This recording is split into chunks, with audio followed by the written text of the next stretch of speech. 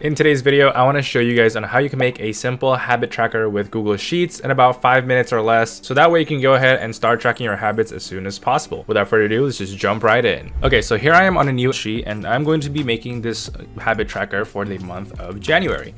So for example, for the month of January, we're going to have different habits here. We're going to have, for example, take a 30 minute walk, um, we're gonna do meditate we're gonna do drink water right? We want some some of our healthy habits here and we want to just have a couple of them. Um, i'm just putting three for now but you obviously you can put your own habits respectively and essentially what why they're aligning here on the right is because they're not plain text. So we're to format them to be plain text and we have these habits here and the month that we want as well.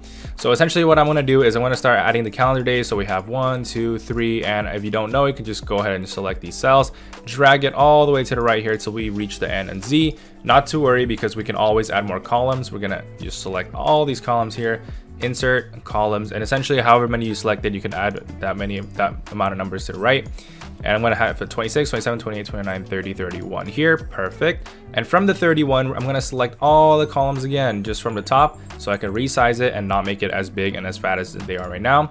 And the perfect number I found for this is 35, just because you could easily see it and you could make, you know, it, it's just easy to look in the eye. I'm gonna select all our habits here as well, and I'm gonna resize them as well to about 25 or so, it's just so they're less smush and less condensed. So what, what I'm gonna do here is I could actually insert checkboxes for all the dates uh, and the habits that we have.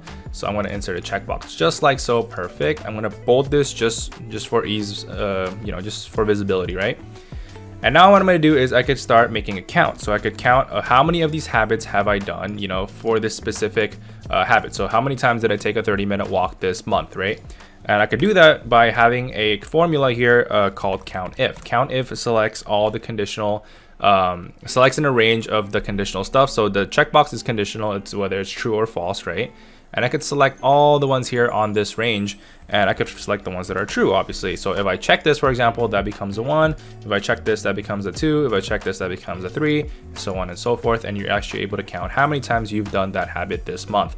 If I just drag this all the way down perfect. Now we have one for every single habit that we will that we will write right? So for example meditation how many times did you meditate?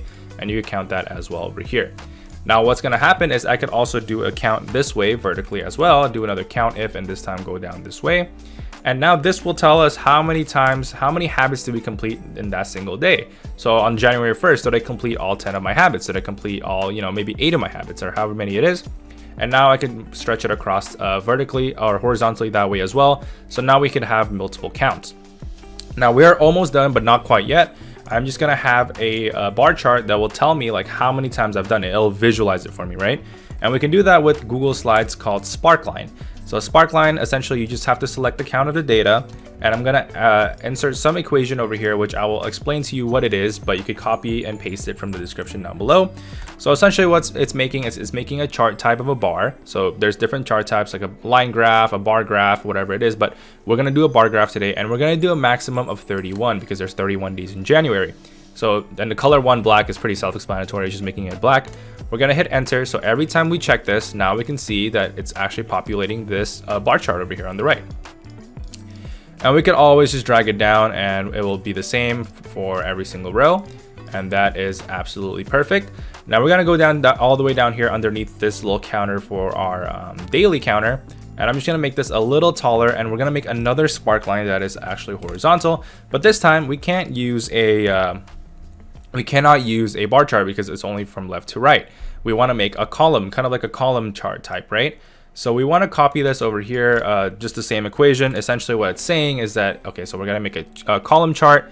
The maximum is the amount of habits that you have. So if you have 10 habits, you put 10. If you have 15, you can put 15, however many you have. And I'm just going to hit enter. So that way, when I start going up right here, it starts populating this chart and it starts populating this chart as well. Now there you go. And I'm just gonna drag this across and now perfect. Everything just kind of aligns and works out together. And that is our habit tracker, right? It's, you know, I've literally built this in under five minutes. You can do it yourself too. Pause it if you would like. Now I'm just gonna start decorating this, right? If I wanna start um, having this decorated, I'm just gonna copy, uh, go all the way over here and just kind of uh, merge the cell, right? And I'm just gonna, I'm just gonna call this document habit tracker. So essentially what I have is habit tracker. I'm gonna bold that, I'm gonna center it and also vertically align it as well. And just to make it easier to see, I'm gonna change this to uh, black and make it white like so. So now we have this nice habit tracker chart over here. And essentially for every one of these, you could just, you know, I could make this into a little separator here. So we have this for the month of January. You can go ahead and copy this whole thing. Don't forget it ends at this box right here because of the charts. You can copy this again and then paste it this way and just call it February, right? You could, it's, you know, really up to you of however many you want to make and it will still function just as usual, but except maybe February has 28 days, right?